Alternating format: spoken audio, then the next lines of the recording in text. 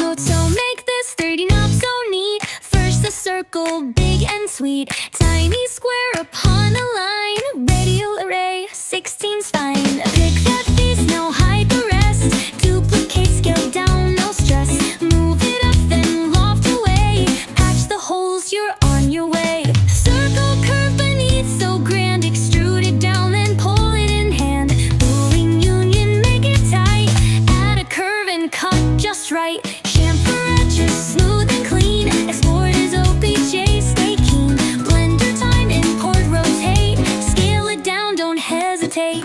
Side panel up, one magic click Remesh it makes it super quick.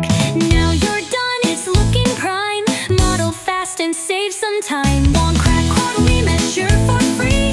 Find my link, don't miss the play. Join my channel, grab it fast. Track plasticity, just check my place. Grab it now, don't lose the trace. Before you go, leave love, my dear. Passion's free, just drop it here